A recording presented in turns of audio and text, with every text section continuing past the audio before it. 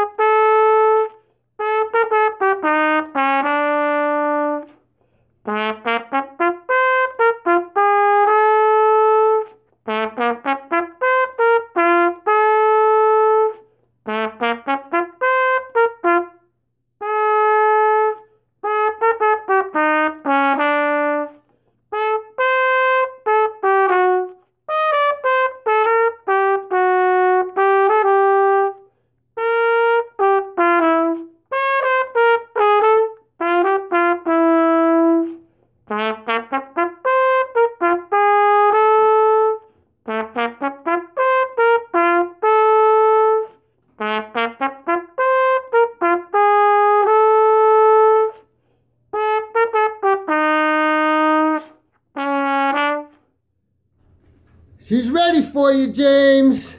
Come and get it.